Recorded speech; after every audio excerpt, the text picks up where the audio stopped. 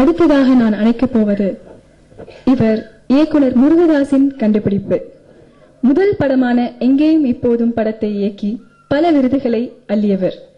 இப்பொழுது இவர் லிங்குசாமி தயாரிக்கும் விக்ரம் பிரபு நடிக்கும் அது வேற இது வேற படத்தை டைரக்ட் பண்ணிட்டு இருக்காரு வாங்க சார் சரவணன் சார் வாழ்த்த வாங்க.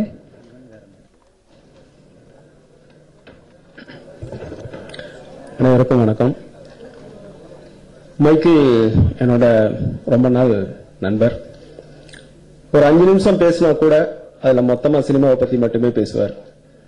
அவர் சொன்னார் ஒரு மிடில் கிளாஸ்ல பிறந்த ஒரு அம்மா எப்படி சாப்பாடு எல்லாருக்கும் சமமா பிரிச்சு கொடுப்பாங்கன்னு?